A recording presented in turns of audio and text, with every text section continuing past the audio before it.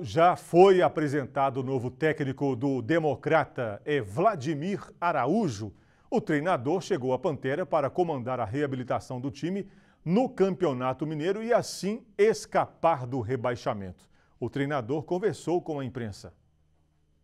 Para mim é uma satisfação imensa estar tendo essa oportunidade, né, de primeira vez em Minas Gerais de defender o Democrata, né, uma camisa forte, uma camisa grande. Se eu não me engano, acho que é o maior clube interior de torcida, né? A gente sabe a responsabilidade que é, né?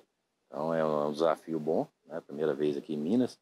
Vem de um trabalho também muito bom na Jataiense, né? Ano passado a gente tinha é, oito jogos para fazer. Quando fui contratado, a gente conseguiu vencer sete.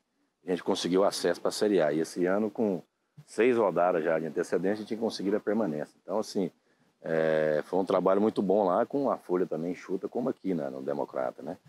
Felicidade é grande estar aqui esperamos corresponder como motivo passado, passado lá na, na Jataiense também ano passado. Fundamental, dentro de casa, com o torcedor que é atuante como o nosso, né?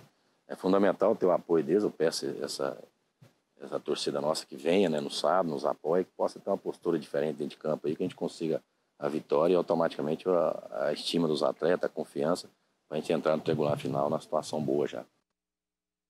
Então, o Vladimir Araújo terá um compromisso no sábado contra o Vila Nova, adversário do Esporte Clube Democrata, na oitava e última rodada da primeira fase do módulo 1 do Campeonato Mineiro. A venda de ingressos para a partida, que será realizada no dia 3 de março, às quatro e meia da tarde, um sábado, no estádio José Mamudiabas, teve início hoje na bilheteria do Mamudão. Os valores, olha só, cadeira 100 reais, cimento 40 reais e meia 20 reais. Lembrando, gente, que a cadeira não tem meia entrada, viu? Continuando então, é, cimento 40 reais, a meia 20, a metálica custa 30 reais e meia 15, a geral 20 reais e a meia entrada custa o valor de 10 reais. O pagamento pode ser feito em dinheiro ou por meio do Pix. Crianças até 12 anos, estudantes, idosos acima de 60 anos e pessoas com algum tipo de deficiência têm direito a pagar apenas meia entrada. Os estudantes, no caso de quem estuda, deve levar o comprovante escolar na hora de adquirir os bilhetes.